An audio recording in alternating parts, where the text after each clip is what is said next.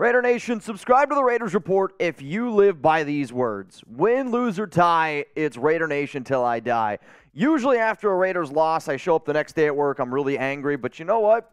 I actually am more confident in this football team than I have been in a long time after a loss because of the effort that they put on the field on Sunday. Yes, you lost another double digit lead, but if you didn't watch that game feeling a little bit more confident in Josh McDaniels, I'm sorry. I think you're a little bit crazy. Coming up here, our top trending stories around the silver and black after their loss to the Niners.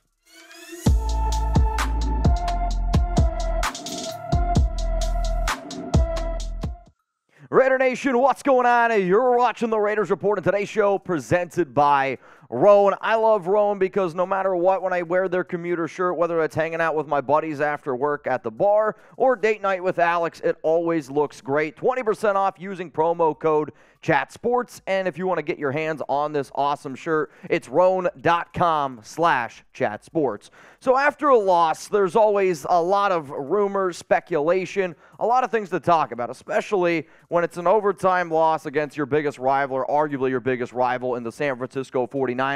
So coming up here, what I'm going to do is I'm going to talk about the top three trending topics and Make sure you watch until the very end of the show if you want some details on what Jeremy and I are doing tomorrow. So let's talk about it. The first one here is benching Derek Carr was the right move. This is for just win babies.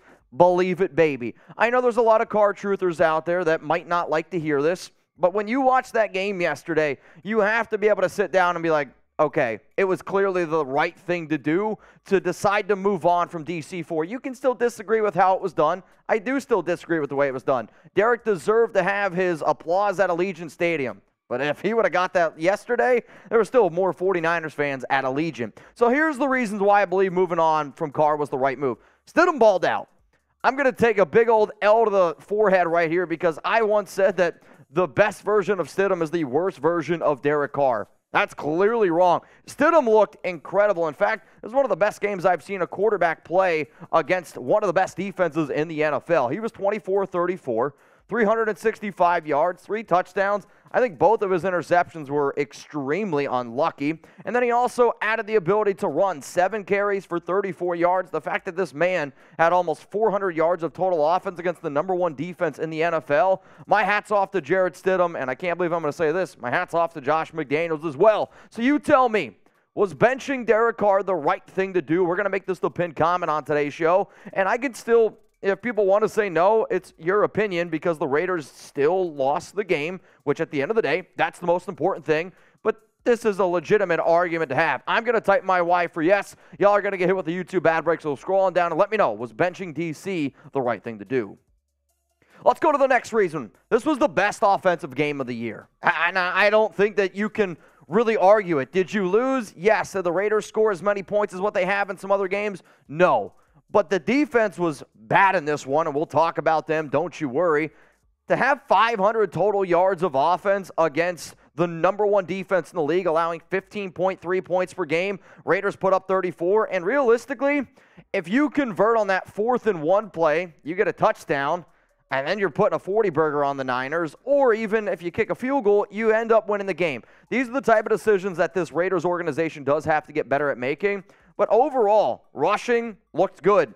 Your passing game looked maybe the best that it's ever have, and the quarterback play of Stidham was solid. And this is uh, just the fact from what I've seen. It's a one game sample size, very, very small sample size. You shouldn't look at Stidham versus Carr. That's not how you should look at this. You should look at this as Stidham and McDaniels, from what I've seen so far, is better than DC and McDaniels. Stidham clearly was a better fit in this offense because of his ability to move than what I saw from Derek Carr. And here we go. Next thing, I saw all these people out on social media. Is anybody else noticing that the game plan is significantly different with Stidham at quarterback than DC? It was different. And McDaniels, I thought, called a better game. I was really intrigued and happy the amount of times that you saw whether the Raiders on a third and one roll out with Stidham.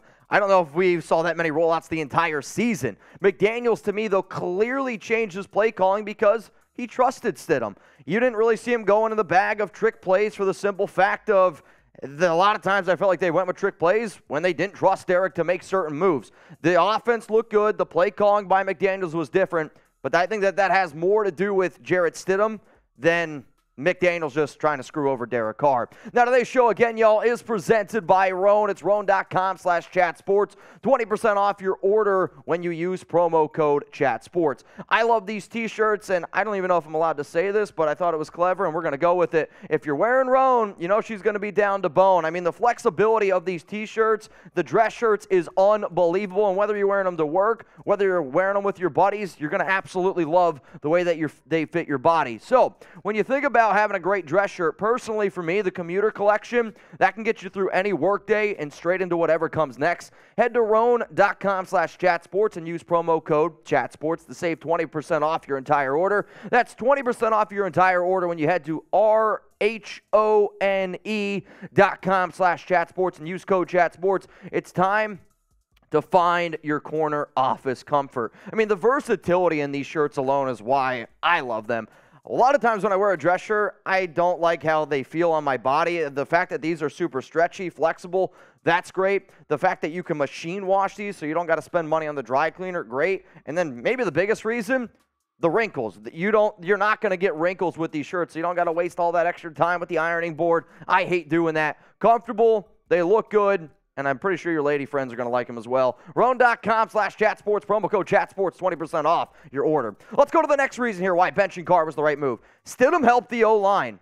I mean, the offensive line did not give up a single sack to the 49ers. Was the play by Nick Bosa where he pushed Kolton Miller into Stidham that forced an interception? Yes, that's a bad play, and that really impacted the game. But we got to be able to face the facts here, y'all. If Derek Carr is the quarterback in that game yesterday, I see three or four times where you would have ended up with a sack. Stidham showed that he was a tough mother effer, stayed in the pocket. My favorite play that Stidham had was he's rolling out to this opposite side, so his left side, waiting, waiting, waiting, gets absolutely drilled. But because he was able to move outside of the pocket, showed pocket awareness, he hit Davante Adams for a long touchdown, which put the Raiders in a great spot. I had so many people ask me, Mitch, how many points do you think the Raiders score if Derek Carr's the quarterback? Honest to God, hand Swear on my grandfather's life. I believe that the Raiders lose by two touchdowns if Derek Carr's the quarterback. Jarrett Stidham was a clear upgrade on Sunday. And then here's the final reason, and maybe the most important. You don't risk DC getting injured. And I get the idea that the way that this Raiders team did it was not the right way, but the way that they did it was business. And all I've seen from McDaniels, Ziegler is business is business. And if you throw Derek out there on the in the game and he does get injured, well then you're going to lose 32.9 million in 2023 and 7.5 million in 2024 on a quarterback that it's clear was part of the problem here in Las Vegas and clearly wasn't the best fit with Josh McDaniels. So again, you can disagree with them benching him, but you have to be able to watch that game yesterday and say that benching Carr was the smart move to make for the long term for the Raiders. And a lot of people are going to look at the thumbnail. They're going to like, Mitch, how can you say Derek Carr was the problem? I didn't say Derek Carr was the problem. I still think that defense is the main problem. However, you have to watch the game and say Derek has clearly been part of the problem. When your offense plays that great, when there is limited time together as an offensive team overall, a few days to practice, and that's the effort that you see from a team playing inspiring football, moving the field up or moving the ball up and down the field. Derek wasn't the main problem. But Derek Carr was clearly a problem with Josh McDaniels at the helm, which is why it's time to move on. And this might be the craziest thing I say in the entire show. I trust Josh McDaniels now more than I ever have before.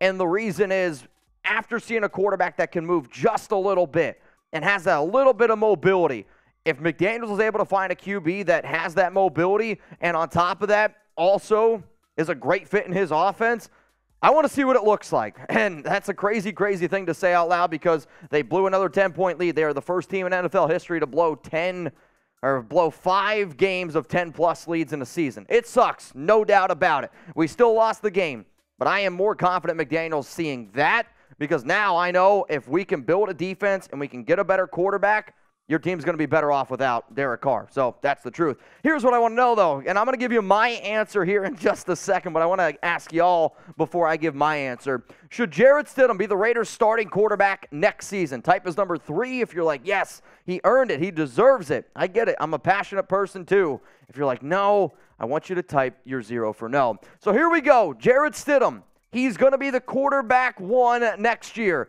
This show is an overreaction show, and this statement here is a clear overreaction. Stiddy played great. I mean, it was Stiddy time. We were getting litty Stiddy. I mean, show me those Stiddy. I mean, we were saying all sorts of stuff on our watch party yesterday, which, by the way, had over 165,000 people that tuned in. Shout out to all the real ones out there. Stidham played great, but it's one game. and, and, that's the thing. It, it's one game you got to be able to see what Stidham looks like going forward. And I'm also a big believer once defensive coordinators, once defenses in general, they start to get more tape on you, they start to take away certain things that you did. Stidham had a great game, but to say that he should be the QB1 next season, I do think is a little bit far fetched. If Stidham plays another solid game against the Chiefs, okay, we're moving in the right direction, no doubt about it. I do have a lot more confidence in Stidham than I ever thought I would. And who knows? If your idea is that you want to be able to bring in another quarterback, I think Stidham now has a lot more trade value than what you thought. I'll also throw this out there. Jarrett Stidham was the first quarterback with three plus touchdowns in his first start since 2013. The other, Matt McGloin. A perfect example of it's just a small sample size, it's just one game. If it was up to me and the way that I would run this Raiders organization, this would be my plan. I would draft a quarterback coming up here in 2023. Maybe if CJ Stroud falls to wherever you're at, seven, eight, nine, it depends where the Raiders could be. If you want to try another player who's athletic, like an Anthony Richardson who can move around a little bit in the pocket, Will Levis is a very intriguing guy to me. However, I would draft a QB, and they're the future, but you also bring in a dude like Tom Brady who can execute the offense because I remember how many people were telling me Tom Brady's washed up, he stinks. He looked pretty damn good this past week against Carolina 432 yards, three touchdowns, a rushing touchdown. Is he mobile? God, no. But you know what? All the money you're saving with Derek Carr, who knows? You might be able to invest that into the offensive line, invest that into your defense, or your other option if you don't can't get Brady because he wants too much money, go with Stidham.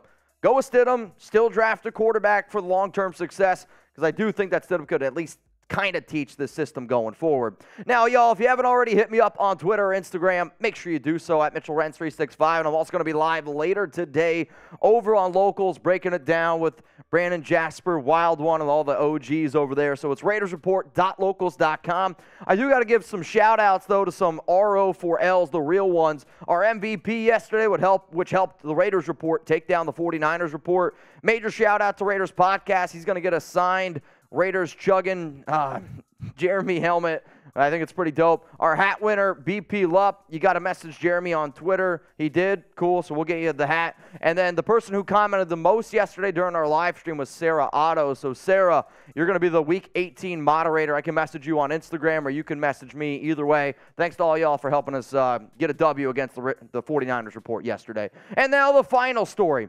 Building a defense is the top priority. For just win babies, believe it, baby. You can talk about quarterbacks all you want. Quarterbacks sell. That's the headline. That's the click. That's what people click on. But we got to be able to face the facts. I just told you that Stidham had an incredible game. I thought it was the best offensive game I've seen by this Raiders team this year, and you still lose 37 to 34. The Raiders obviously need a quarterback. It's not going to be Derek Carr. QB is a huge reason. But it doesn't matter if your defense sucks.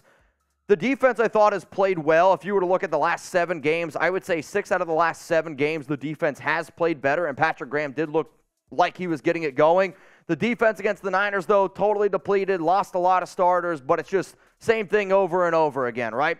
What I'm going to do is hopefully the money that you save from Derek Carr in 2023, which is 29.25 mil. Remember, once the Raiders trade him, it's going to be about a 5.625 million dollar dead cap hit. So you use that 29.25 mil, and you use that plus your draft picks. I'm saying defense, defense, defense. And if you do decide to get a quarterback like Tom Brady who's less mobile, then you do need to invest in that offensive line a little bit more. Quarterback is a problem. But the top problem with this team It is clearly still the defense. And I will say, McDaniels earned a little bit more credit in my book after seeing the game that he called up. And he's an offensive minded coach. That's fine. But he's not an OC. Good head coaches learn and know how to build both sides of the football. So, McDaniels, you got a hell of a task this season, off season. You got to build a Raiders defense because the Raiders haven't had a top 16 defense. And I'm talking total points. I'm not looking at yards because at the end of the day, points is what matters.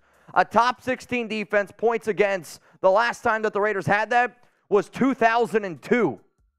Think about that. What were you doing in 2002? Hell, the last time the Raiders have only had a top defense in the top 20 once since 2002. If you can't build a defense, at least a halfway decent defense, you're not going to win football games, at least not win many football games, especially when it matters the most in December, January, and hopefully in February. Other Raiders news to cover here the Las Vegas Raiders and Chiefs game. We thought it was going to be on Sunday. It's now going to be on Saturday at 4.05 p.m. Eastern Time, which is then 105 Pacific Time for a lot of y'all. Jeremy Jugs and I, we will be live for this game, even though the Raiders are out of it. I still want Las Vegas to upset the Chiefs. I'm never going to root for this team to lose. However, though, yeah, Jeremy's saying FKC. Let's get some FKCs in the chat. However, though, if they do lose, you could be around the seventh pick. If they win, there's a chance that they could go all the way up to 13.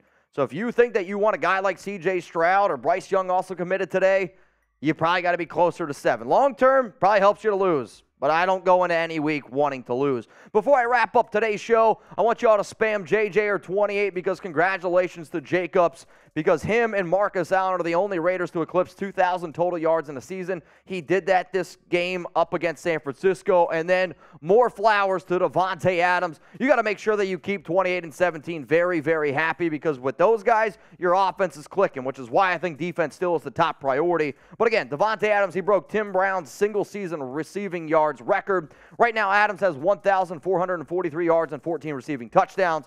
Tim Brown did it in 1997 with 1,408 yards. If you made it this far in the video, on Tuesday, tomorrow, Jeremy and I, we're going to be live doing our normal show, rumors. I got a fun segment for y'all. We're going to do a mailbag. But because Wild One a few weeks ago, sent in a huge Venmo, we are going to do a competitive taco eating contest. Taco Bell, soft shell. I don't know how many we're going to try to get down. Combined, Jeremy and I are hoping that we can get 50 down. We'll see how it goes, but if you want to see that literal shit show, tune in, hit that subscribe button, and turn on those notifications. That way you don't miss anything. Enjoy the rest of your Monday. Enjoy the rest of your holiday. I love y'all, and good things are coming here for the Silver and Black.